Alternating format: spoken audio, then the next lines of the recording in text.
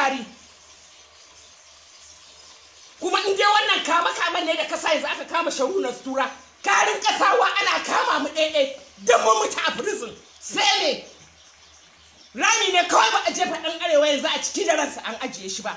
Amma kashewa ka riga ka kashe mu ka kashe arewa. An gaya maka bahar ka kashe arewa. Ka yi abin da za ka yi. Idan za ka gyara ka gyara. Ka ce ka jawo ruwa arewa ina ruwa yake babu. Ka ce wannan a arewa ka ce babu. Duk abin da aka yi wa arewa babu shi. Sai kuma a dinga jin tsoron ka ba za a gaya maka gaskiya ba. Kai mana zalunci. Kai zalim ne Buhari. Zalim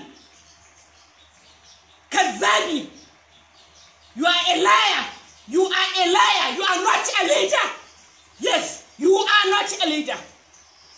Ba kai deserving da kujerar shugaban kasa ba. Because baka ma san me kake yi ba.